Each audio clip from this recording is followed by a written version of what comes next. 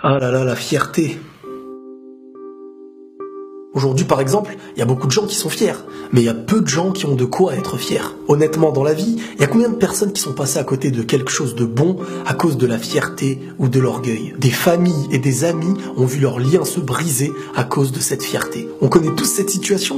Où chacun refuse de faire le premier pas vers l'autre, en disant s'il me donne pas de nouvelles, eh ben moi aussi je lui donnerai pas de nouvelles. Mais de l'autre côté, il est possible que ce soit pareil et qu'ils disent s'il me donne pas de nouvelles, eh ben c'est pas moi qui irai lui en donner. Et au final, personne n'a plus de nouvelles de l'autre. Et malheureusement, c'est très souvent comme ça qu'on casse une chose qui avait tout pour durer. Autant dans une famille, autant dans un couple, autant même en amitié. Le pire, c'est qu'on est tous conscients que cette fierté nous bloque dans tout plein de choses. On le dit nous-mêmes je suis trop fier pour faire ça. Sauf que cette chose qu'on pense positive nous fait très souvent perdre. La fierté nous rend fiers de ne pas la combattre. La fierté peut nous pousser à croire qu'on est parfois des êtres supérieurs, alors qu'on est faible. Mais être conscient qu'on est faible, ça devient déjà une force. Parce que c'est vrai, on est tous faibles et tous dépendants sur Terre. Et si tu penses être fort et non dépendant sur Terre, rappelle-toi qu'il suffit de ne pas manger et de ne pas boire pour mourir. On est tous dépendants sur Terre. Quoi qu'il arrive, on est faible et faut l'admettre. L'humilité et la modestie, c'est bien plus puissant que la fierté et l'orgueil. Et même si tu refuses de l'admettre, la vie te le fera comprendre. On a tous besoin des autres, ne serait-ce que pour la première chose qu'on appelle l'affection. L'homme a besoin de la femme autant que la femme a besoin de l'homme. Et même si chaque jour chacun essaye de se rassurer comme il peut, n'oubliez pas qu'il faut être deux pour donner naissance à un nouvel homme.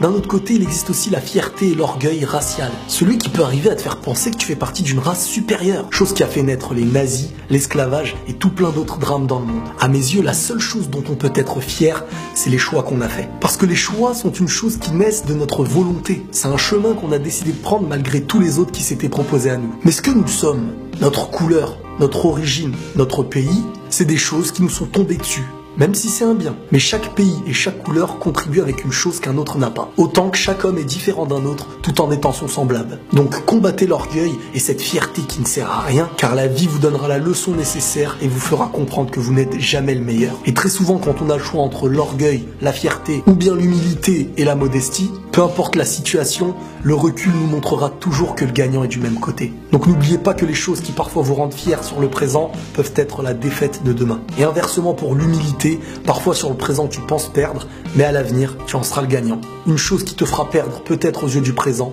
mais qui te fera gagner aux yeux du futur. Et la paix sur vous.